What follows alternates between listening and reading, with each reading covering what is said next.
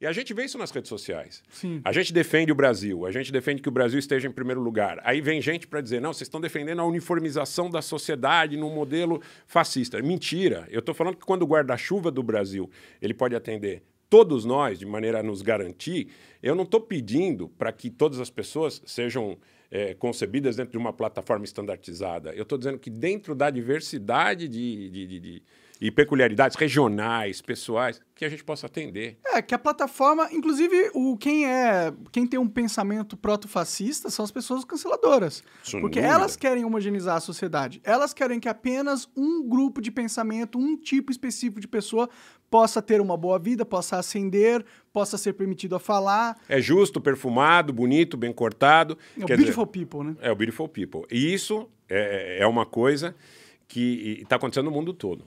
Eu acho que no Brasil a gente tem um capital político, sob o ponto de vista da consciência que está sendo criada na população. Isso não quer dizer governo do Bolsonaro, isso não quer dizer Ciro, Lula, Tebet, não. Eu acho que a gente tem uma consciência da população brasileira, até em função da sua própria diversidade, das peculiaridades do Brasil, é, que aqui eu acredito que a gente pode ser uma base de contestação a esse pensamento hegemônico, aonde você tem alguns que nutram todo o respeito e toda a credibilidade em função de direitos que se auto-evocam, evocam para si mesmos, e a grande massa que é desqualificada, desclassificada e que ou tem, tem que cumprir essa agenda ou vai ser execrada, tá?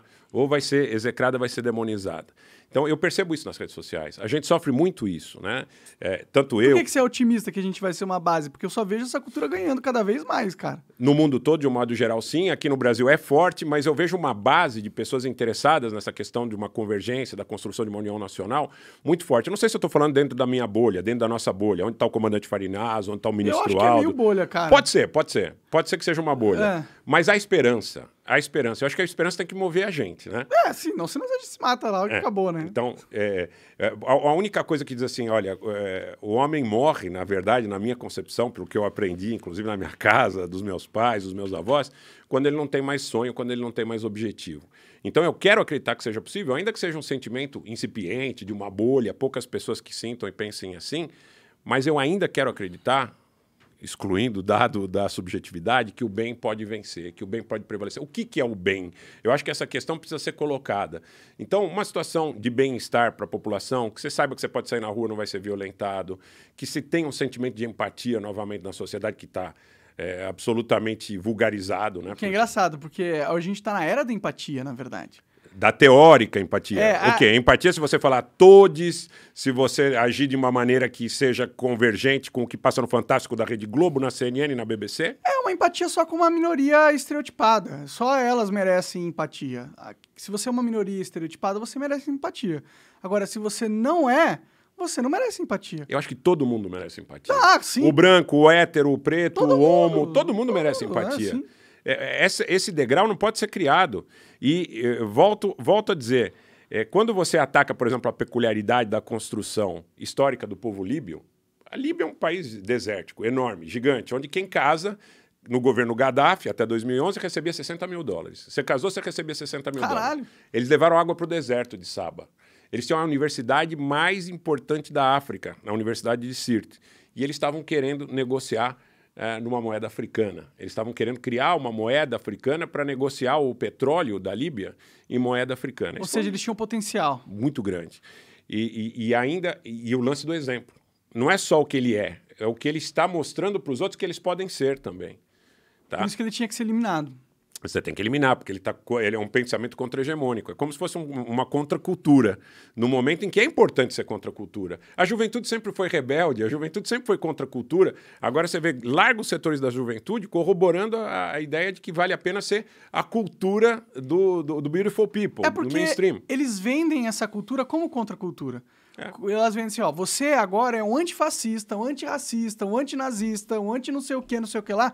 Esses caras são os inimigos do mundo. É o nazista, é o racista. Tipo, eles são os que estão querendo prejudicar você. E você lutando contra eles, você tá sendo rebelde. Só que eles não entendem, porque os maiores inimigos deles não são essas pessoas que são imbecis e, e são pessoas e que não devem. E, e aí, você sabe onde eles estão agora? Eles estão agora assistindo a gente aqui, loucos para pegar um corte, um excerto e deturpar o que a gente está falando para mostrar para as pessoas que eles têm razão. Sim. Né? Eles estão loucos para pegar um corte, um excerto para dizer, olha, tá vendo? Realmente, olha, é perigoso porque o que eles estão falando é, é, é em linha com alguma coisa que é politicamente incorreto. É, porque eles falam como se a gente quisesse defender esses, esses exemplos de bosta. Tipo, nazistas fazem. Não, não estão defendendo eles. Estão falando, tipo, tá, eles são realmente uns bosta. A questão é, quem tá querendo tirar a sua liberdade hoje em dia e tá conseguindo, não são eles. Eles são marginalizados.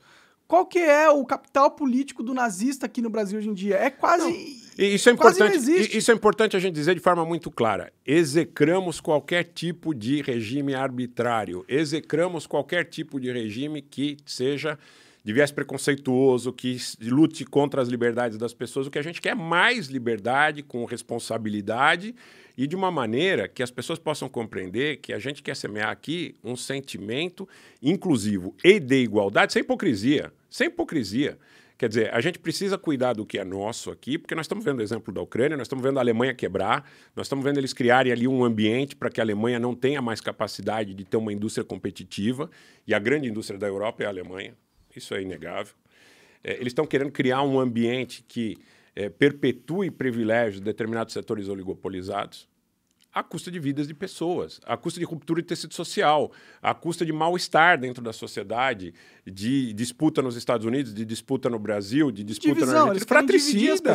Fratricida. O risco que a gente corre aqui no Brasil, se a gente não ouvir a proposta de união e pacificação nacional, é a gente viver algo parecido com o que aconteceu, por exemplo, na antiga Iugoslávia. O privilégio que a gente tem é que a gente não tem essa divisão étnica e religiosa tão marcada. Aqui do, do Oiapoque ao Chuí, você pede um café, o cara vai te entender.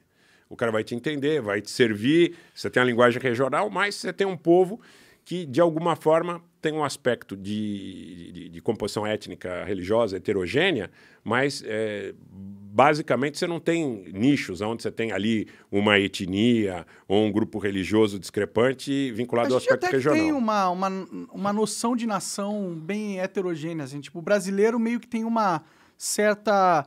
Tipo, a gente se sente ligado por ser brasileiro, tá ligado? É importante, mas é importante a gente disseminar esse sentimento, é importante a gente remarcar que a bandeira é de 215 milhões de brasileiros, que a bandeira não é de um grupo político, que a bandeira é verde e amarela, que a bandeira é uma só, que o hino é um só. É, nisso o PT tá fazendo um bom trabalho, né? Tá usando ali a verde e amarelo na campanha. Eu acho que o comandante Robson Farinazo, nosso canal, o ministro Aldo Rebelo e outras pessoas que têm falado nesse sentido, têm uma participação importante dentro desse contexto, porque nós fomos, à custa de muita dificuldade, num primeiro momento, a gente falou se é bolha ou não é bolha, talvez a gente perceba isso no processo eleitoral, espero que não, tá?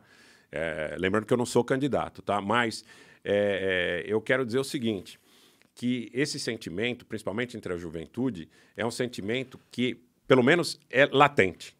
Isso que você colocou.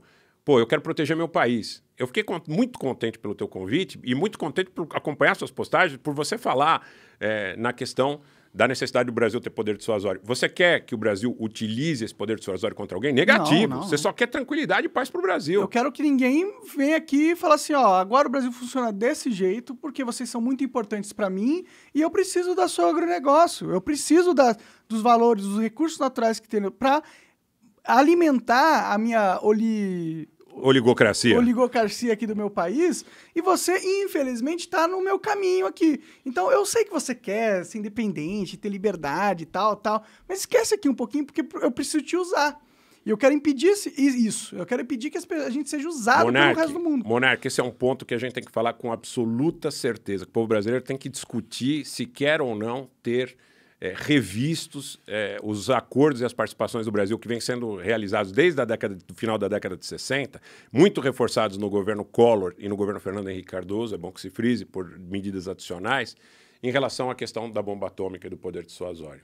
Então, aqui eu quero de público prestar ao comandante Robson Farinazo a minha homenagem, porque foi publicamente um brasileiro corajoso, porque a gente está falando de pessoas que são execradas.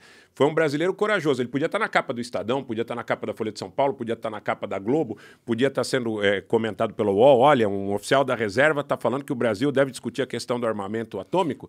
Ele quer acabar com o mundo. Ele quer acabar ele com o mundo. Ele quer destruir o mundo. Ele quer que a sua filha morra por radiação.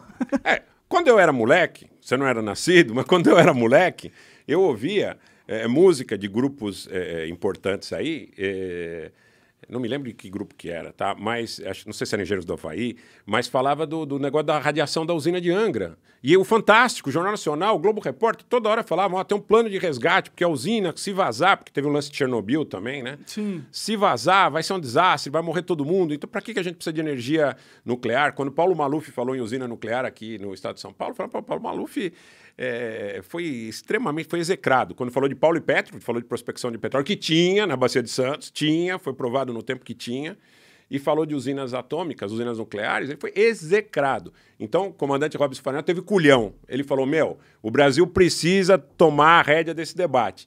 Podia, e apanha apanha nas redes sociais, por vezes até de pessoas vinculadas a essa coisa do mainstream, mas há que haver um reconhecimento que esse debate foi recolocado na sociedade. A gente sustenta esse debate, a gente fala, ele teve aqui, você fala, eu falo, muita gente que tem voz e repercussão nas redes sociais mas ainda tem um, é, falado. É, ainda é um assunto totalmente de nicho, o negócio da bomba atômica. A gente está hum, falando, mas, mas nós precisamos discutir. Tio, a, a, direita, pelo menos, abraça, ela tem uma, uh, uma visão sobre essa ideia que é favorável. Então nós precisamos ouvir. Você acaba de assistir um corte do Monarch Talks. Agradeço demais, mas se você quiser ver o vídeo na íntegra e acompanhar ao vivo todas as transmissões, você tem que ir lá no rumble.com/monarch para não perder nada. Segue a gente lá.